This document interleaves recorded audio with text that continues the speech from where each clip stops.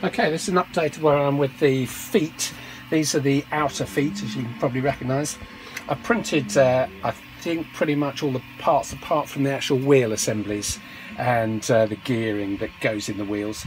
But all, these are all the shells, um, and I've printed the gearboxes. Nothing's glued together, so it's all held together by tape at the moment. So um, I can take it apart and just quickly show you all the parts, how I put it together. Um, it, it looked a bit daunting when I originally was looking at the drawings, but it's actually pretty straightforward. I think, well, I think I've got it right anyway. So I've got the left and the right um, feet swapped around actually here at the moment, uh, and the just see tucked away. That's the inner. Uh, that will be the where the wheel assembly goes. That's the lower part of the leg. There's the battery boxes. That's the other one, lower part of the leg. The other battery box is just sitting just off camera.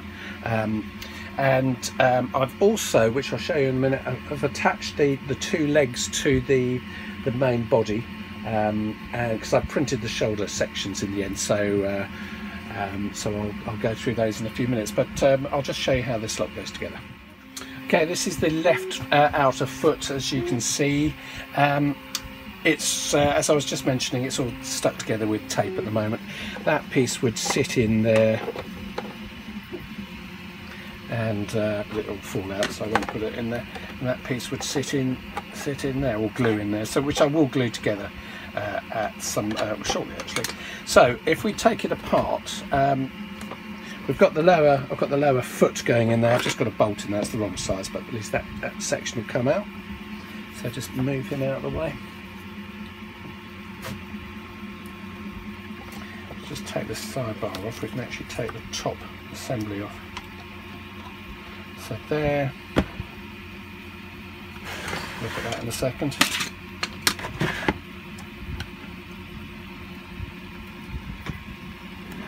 So that's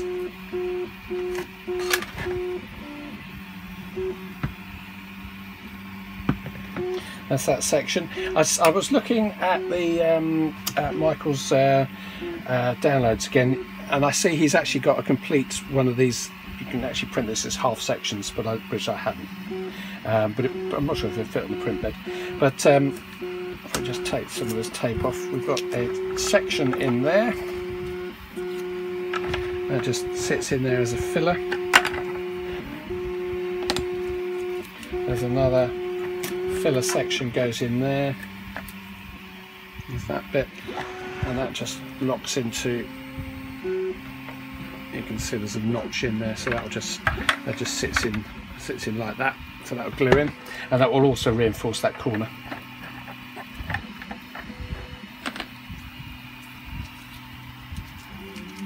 We've got a similar one piece section that goes in.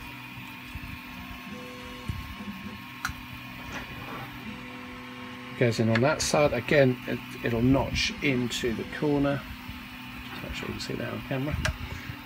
And a notch in there. And reinforce that section. That's the piece that's the piece. You've got the front piece. That's the front I believe that's the back. And these two side sections uh, which go on there. Uh, obviously the same on the other leg. Let's move that out of the way I'll just show you the other leg. I've put the battery box on it before it all falls apart.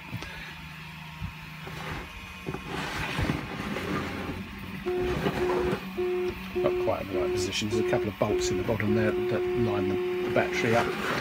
Um,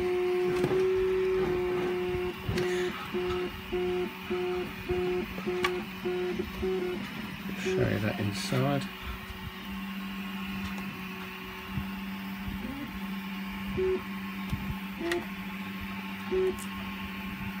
There's two clips in there, or rather the battery uh, clips into, or sort of slots into this, this crossbar to hold it in place. And then there's two screws, as you can see at the bottom there, which line up into two screws in the battery uh, containers. The battery box is not quite lined up. But before that all collapses, let's put that back down.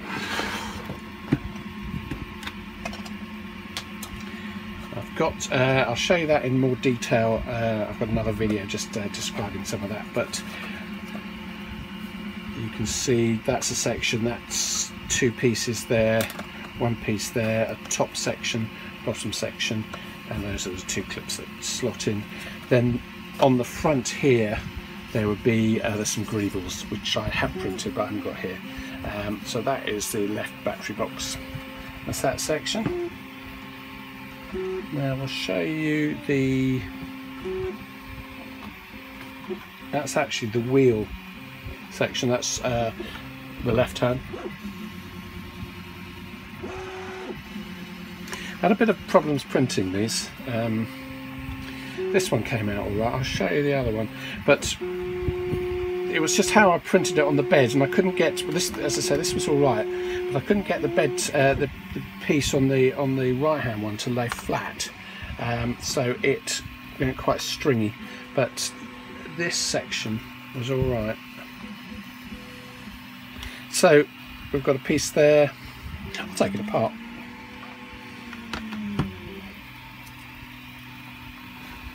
Make sure you're on camera. Yeah, I'll, I'll take this apart. You can see what's going on. These sections go in. a bit more space here.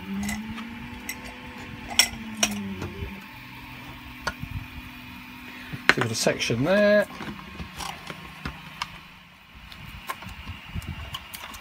That piece comes off. So if we take this top end off, There's quite a good uh, PDF drawing of this. Uh, it's just easier once you've actually got the pieces rather than trying to follow the drawing. It's a lot, it's lots uh, more obvious when you've actually got the bits in front of you.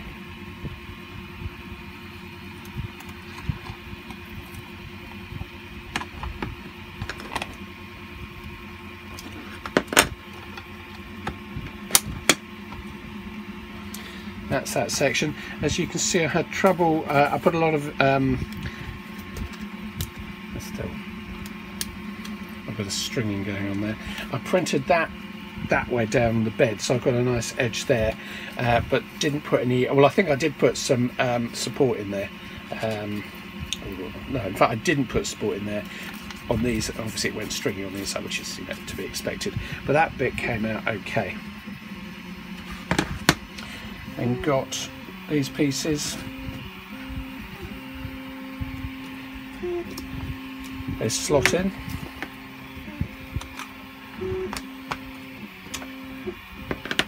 That's as per the drawing, so that's fairly obvious as per the drawing. This bit, again, once you realise how it goes together, it makes sense. There's three pieces there.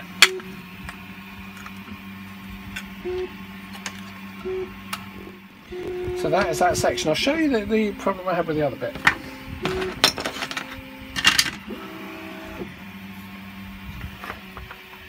Couldn't get it to as I say this is this is the right hand side. Uh, this bit was lying that was the face on the bed this time so I had it the other way up. And uh, although I put support on there I had a lot of stringing going on on, on this side um, which I think you can see on the camera. So I'm going to have to um, sand that down quite considerably but it, it worked.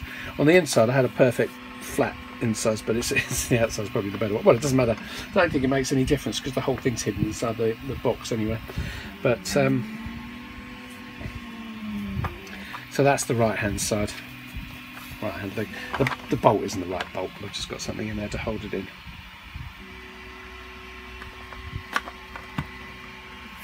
And that's the bottom of the foot loose as you can see.